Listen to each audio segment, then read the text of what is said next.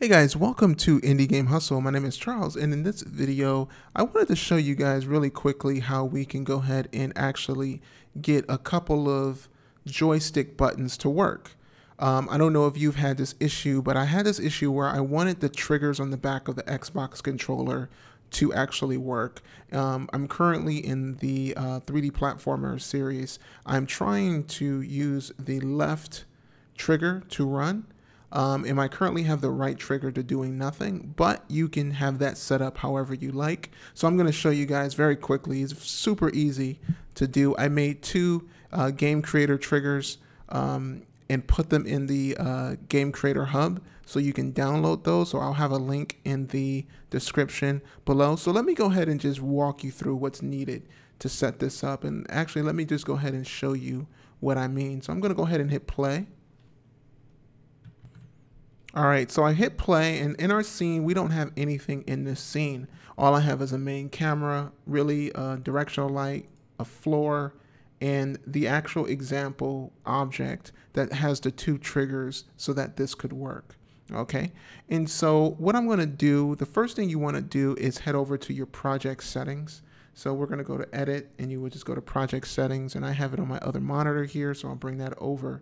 And inside your project settings, um, you're going to have some things set up here. So the first thing you would want to set up is the names for these particular uh, inputs. So the first one for the triggers, it's going to be the third axis trig. And I want you to name it exactly like this because I think the script that I wrote um, uses these these everything is kind of connected so I don't have it set up to where you can change the variables or anything like that um, so and then um, go down and then you want to make sure the type is joystick axis axes is going to be third and then you can kind of play around with your gravity your dead space here and your sensitivity so you can play with that so the next thing you want to do is also set up the d-pad and so this is going to be the D-pad horizontal, so left and right. And so you want to name it exactly like I have it listed here. And then also here for the type joystick axis, six axis here for joysticks, right? All right. And then of course for vertical, I have this here and you want to do D-pad V and do it exactly like this as well. And then this one's going to be the seventh axis. All right, great. So the next thing you're going to need for all this to work is you want to head over to tools or actually game creator and then preferences and then you want to pull up your variables. Now I have a bunch of variables here uh, for the 3D platform I'm working on. Um, however, um, these are the three variables you would need to create. And so to do that, you would just type in the name here and you want to make sure the name is exactly like this and they should replicate literally the same name that we have in our input manager. Okay.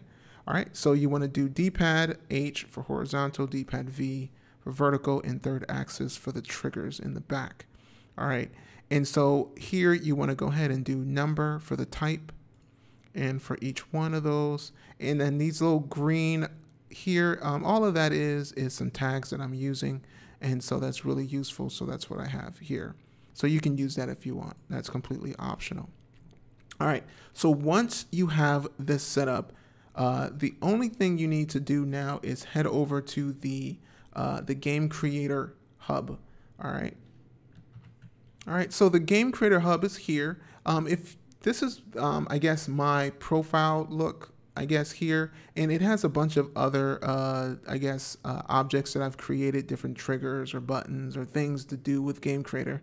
But the two that you want to download are going to be the joystick trigger, third axis, and of course the joystick trigger D-pad.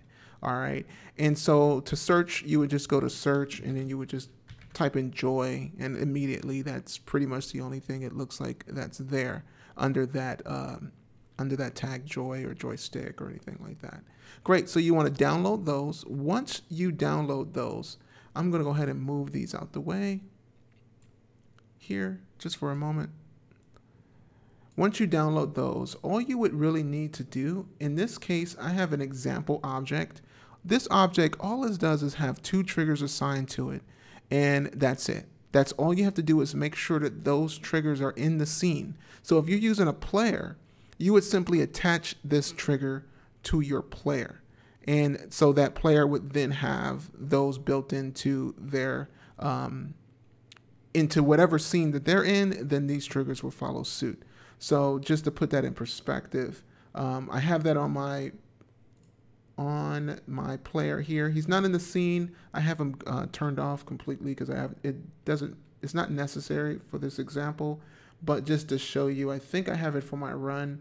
So really all I need to do is you can see here is the button joy script and it's literally the same joystick third axis that I'm using for that.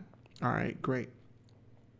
All right, so just to see it working, once you have everything set up that I showed you and you have the example, you just assign a trigger and then when you go to trigger, you go change trigger. And if you type in trig, you'll see trigger third axis. If I think if you even type in joy, you'll even get it that way. So you can get joystick there and you would just assign those as needed. Okay, I'm gonna remove this one. I'm in play mode, so actually it doesn't matter. All right, great. So to see that working, I'm just gonna show you here. So I'm gonna click in my scene. I'm gonna go ahead and pick up my gamepad.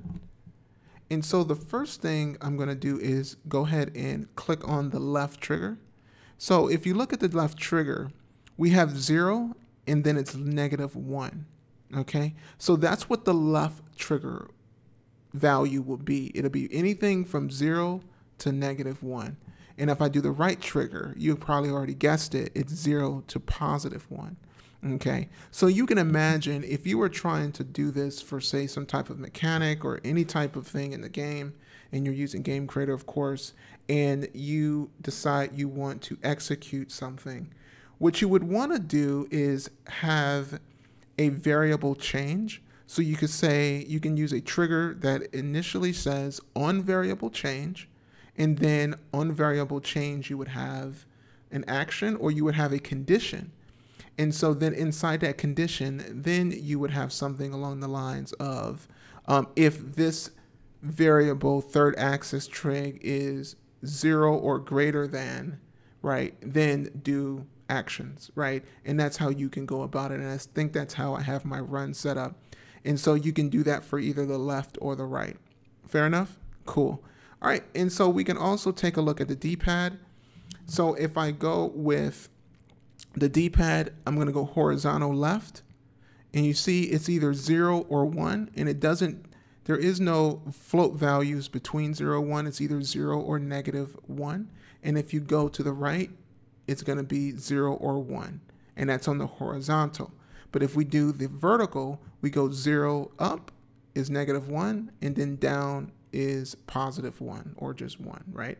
All right, and that's pretty much it. And you would use these variables in the same way, and you can probably use this in a bunch of ways. I can't even, can't even imagine that you would utilize these type of things, but it's there to use, and hopefully that is beneficial to you guys. So anyway, I didn't want this video to go too long. This is actually pretty simple.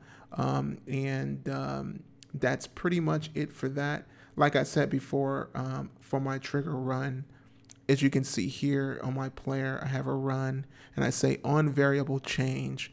Then I have a condition and then that condition checks for a variable here. And so I'll leave that up to you on how you utilize that.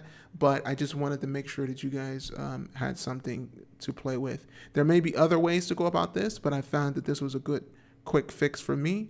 And it also allowed me to, of course, continue to play with making triggers or just playing with game creator related things. So again, go to the hub and pick that up, put that in your project, and I would love to see what you guys are doing. So with that said, that's pretty much it for this video. As always, I know making games is tiresome sometimes and things don't always work. Um, your first game is not going to be your best game, but guess what? There's something that you're going to finish. And um, that's my goal is hopefully anything that I'm talking about is going to help you guys get further in whatever it is that you're trying to accomplish. I love to see you guys' stories, and um, I hope one day that I can show you guys my stories. But always remember never give up and keep moving forward. Peace.